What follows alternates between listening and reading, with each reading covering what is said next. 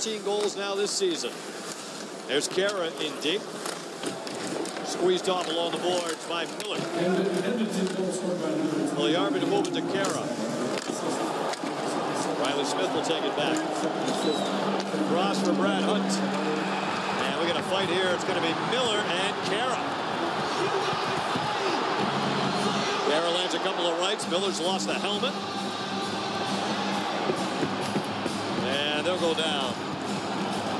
Khaira's a big guy at 6'4", 214. But Miller with a solid hit in the corner. Khaira didn't like it. Two of them had a little discussion and went after it. They'll both head to the penalty box. Here's a look as Khaira just gets bumped by Miller, goes down. Didn't like it. He came right after him. And him and Miller go. Miller got a couple in early, and then Khaira came back and see the long reach as Miller, a couple exchanged both ways. These guys get some shots, and now they'll have a chance to rest for five minutes. I'd imagine this is even up. So our first bout of the game, Colin Miller, Jujhar Khaira with 6.58 to go.